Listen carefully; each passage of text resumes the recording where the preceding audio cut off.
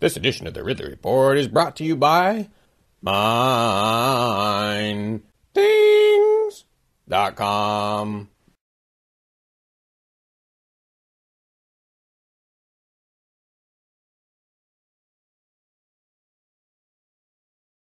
This gives a sense of how much, again, we are uh, predominantly relating or relying upon incarceration as a criminal justice mechanism.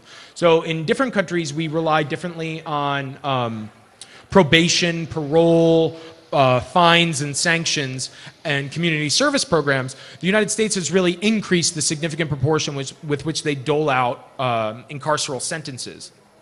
This gives a, a, a, vision of the breakdown in expenditures that uh, the criminal justice system has had. So again, proportionately speaking, we're spending a lot more on corrections than, say, our judicial process or our policing services. I'm taping again. Uh, Chief Mark, could I express some concern to you with regard to what happened to Mike Tyner uh, about uh, six months ago? The man who had the. the I'm not gonna. I'm not gonna talk about that.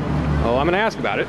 At first glance, and I know and realize that no one here, or most people here, tend to dislike the police, but as far as a trade off between cops on the street versus uh, wardens running jail facilities, you'd, you'd rather deter crime from ever happening than have lots of crime that's, that's being uh, retributed. So even, on the, even if we assume that our police system was purely functional, it seems that our balance of paying between police and punishment is out of whack. This one might be difficult to see, but this is the most, uh, I would say, disconcerting from a free market perspective correlation. This is a, an economic regression taken from an article by Ezra Klein, um, no, no friend to free markets per se. But um, what he did was he took the Economic Freedom Index compiled by the Cato Institute and he correlated it with po- prison population. And what I think is, is tragic here is that a, a, lot of neoclassical analysis in contemporary economics lends itself to this argument that capitalism and mass incarceration go hand in hand. And the reason for that is because there's this literature called self enforcing exchange in economics. And it's asking critically, well, how can we get individuals to trade with one another, but without uh, an invisible boogeyman to, to punish people who break those contracts? Um, and the conclusions are that in small communities, say like PorcFest, for example, reputation does a lot of heavy lifting. You can shun people. You can tell them that you won't do business with them anymore. You can uh, sully their reputation. You can tell people about their bad experience. But those types of strategies don't tend to work well in Manhattan um, or in large scale, what are called anonymous market exchanges. And so, one of the new institutional insights is saying that the, the way in which you can do banking at an international level, right? I, I, can take money out of my bank account, I can travel halfway around the world, start up a new bank account, and have full faith and confidence that my money will be there, uh, capable for me to use and rely upon, is very remarkable in human history. Like, you used to not eat food that someone who you weren't related to would make for you because they could poison you, so to speak.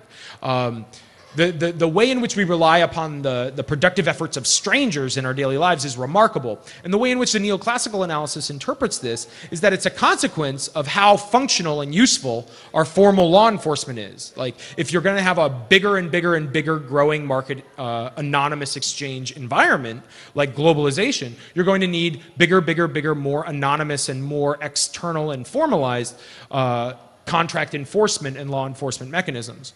Um, I want to suggest that there's a problem in this analysis, that we often overly discount the negative social effects involved with mass incarceration. And this is in large part a consequence of overly looking at this narrow period of history from the Enlightenment to today and only understanding that incarceration in that form of isolation and individualized punishments is a relatively new phenomenon. But instead, if we defined incarceration as the systematic uh, bondage of human beings, we would have to recognize that this practice is a lot older and has a lot more patternistic results on uh, the stability of society and governmental forms that we can recognize.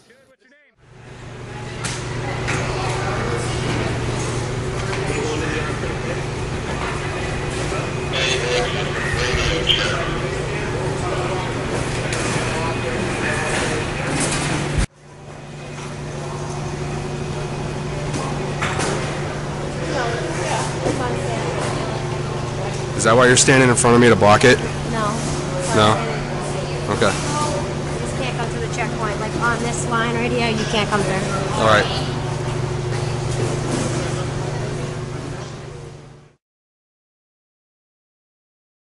Have you played your fill of pro government video games?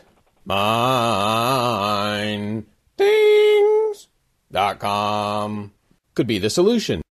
It's free, imaginative, and you can play it entirely in your web browser. Recolonize the smothered earth, dig up cool artifacts, compete with other players in a free market scramble. Just remember to use the coupon code RIDLEY. That gives you twice the mining rate. Mine things dot com.